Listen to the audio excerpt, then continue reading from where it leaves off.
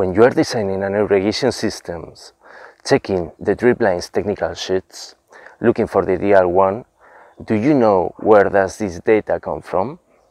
Today, I will focus on the maximum length in the drip lines, showing you how it's determined.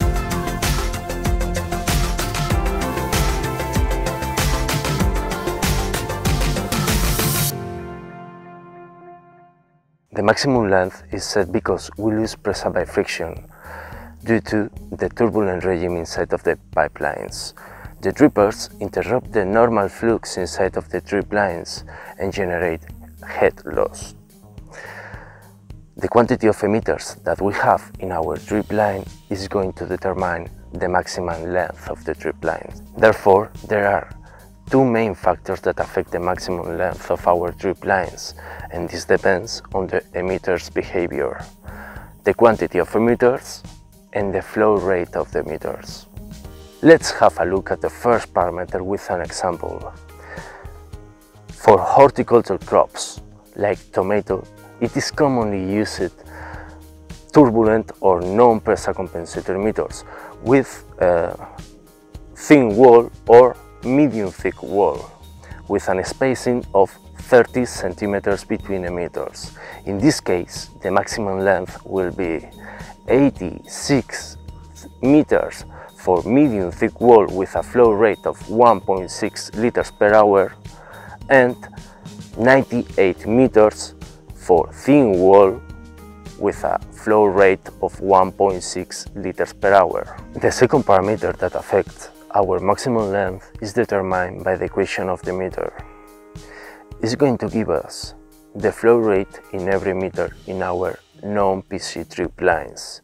The water enters the emitter through the labyrinth and drops out toward, toward to the roots. In non-PC drip lines, the flow in the emitter is never going to be the same as in the follower meter. This is because is not compensated. In the case of pressure compensator emitters, the situation changes. Due to the silicon membrane, the membrane keeps the same flow despite of the differential pressure in the drip lines. The equation tells us every flow alteration generated by the pressure is zero.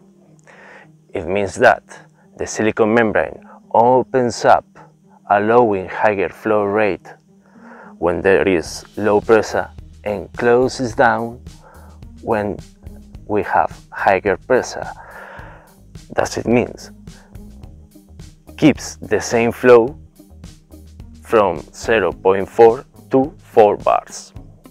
To summarize, the pressure loss varies depending on the flow rate we have.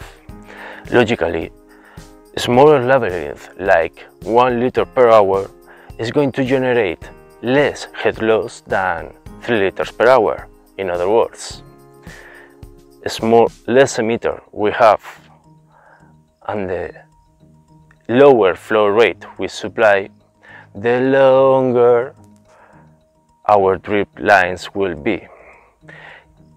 If you want to know more information, don't forget to visit our website azud.com and don't forget to connect with me on LinkedIn.